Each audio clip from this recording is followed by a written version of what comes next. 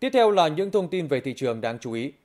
Thưa quý vị và các bạn, ngày Valentine đang cận kề, vì vậy thị trường quà tặng cho ngày này khá phong phú đa dạng về sản phẩm và giá cả.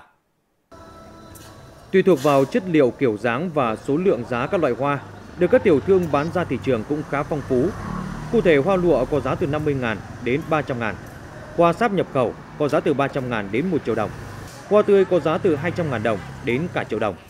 So với thời điểm này năm ngoái, giá hoa tăng gần gấp đôi. Bởi tại vì ví dụ năm ngoái hoa của mình nhập vào 5.000 một bông thôi, năm nay có thể tăng lên đến 10.000 một bông. Với lại thị trường mấy hôm nay thì thật ra là bán thì nó cũng chậm chậm thôi, nó không như mọi năm tại vì bây giờ Covid người ta hạn chế.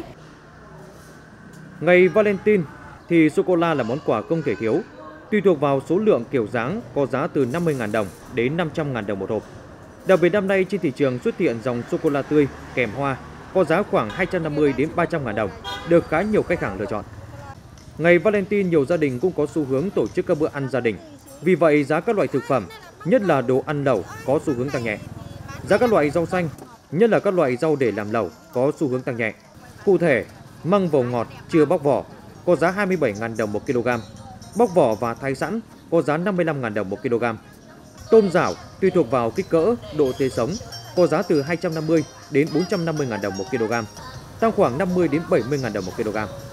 Giá các loại cá cơ bản không tăng.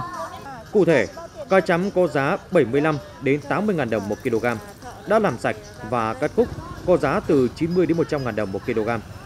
Chép giòn có giá 150 000 đồng 1 kg. Cá rô có giá 40 đến 50 000 đồng 1 kg.